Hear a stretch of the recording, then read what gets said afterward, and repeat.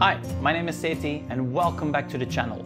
This is our segment EDU Enterprise Highlights with Apps Events and Acer.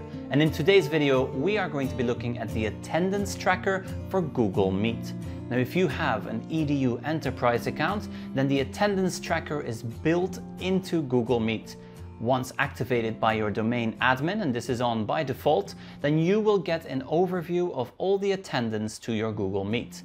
Now, how does this work? Well, here I have a meeting open and as you can see, two demo teacher accounts and four student accounts have joined.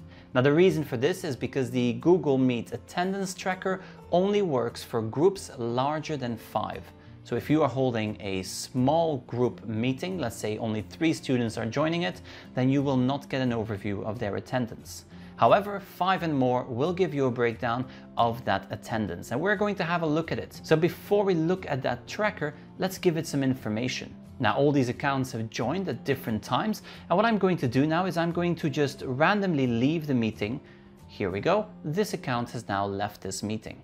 Now I am going to leave the screen open and we are also going to choose a number of other accounts and they're also going to leave this meeting. So this is simulating a real scenario of students leaving the meeting early. In addition to that, I have an extra couple of accounts that are still present in this meeting and now I'm going to manually remove someone from this meeting. So let's say that student 4 is being removed from this meeting. I can click on this button right here, remove him from the meeting, and then click on remove. Now the attendance tracker will also make a note of that. In addition to that, I can now end this meeting. So let's go ahead and end the call and let's return to our home screen.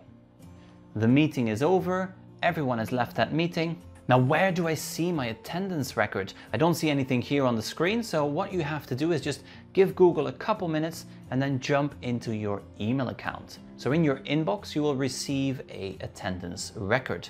So now let's go ahead and open up our Gmail inbox.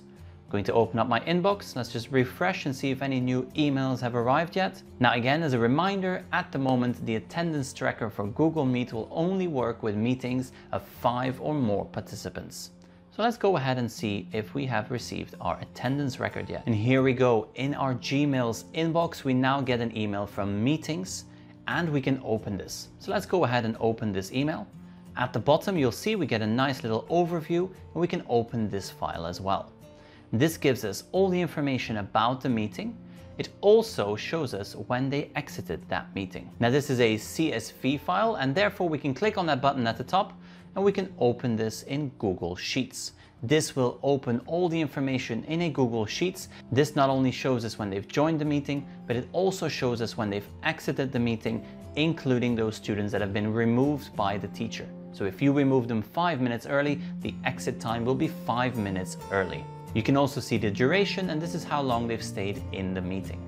So this is a great enterprise feature that is going to save you a lot of time making sure that you have an attendance record of all the students that have joined your meeting, when they've joined and when they've left. This was another EDU Enterprise Highlights with Apps Events and Acer.